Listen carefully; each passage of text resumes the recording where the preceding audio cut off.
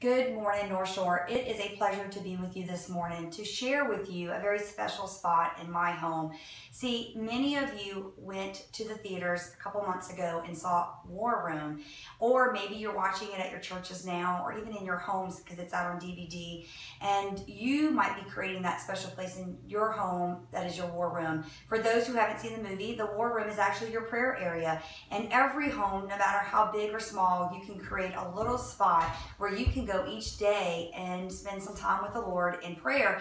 And um, so this is my war room. This is our special spot that we've created. It's where I kind of post all my prayer requests.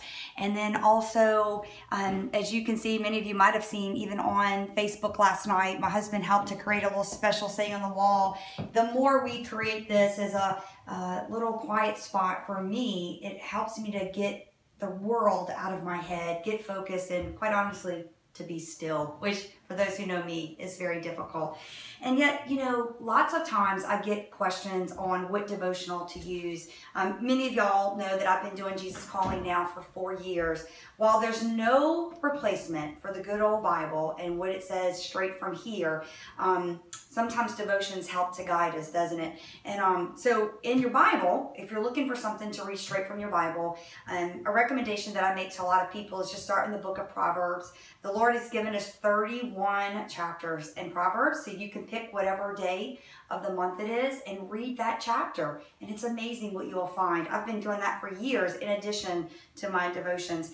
And, um, and so this morning I thought I would share with you from Jesus Calling today's devotion for my war room.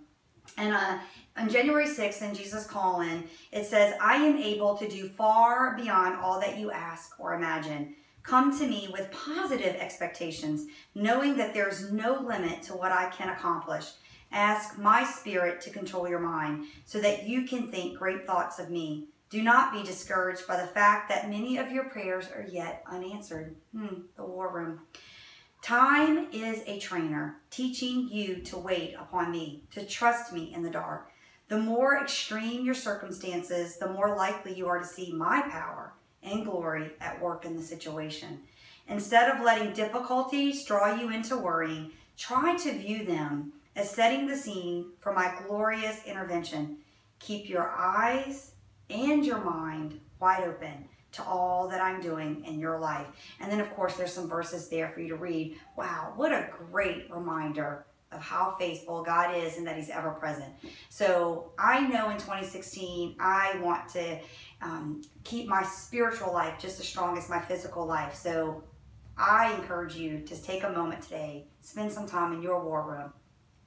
Thank you so much. Have a wonderful day.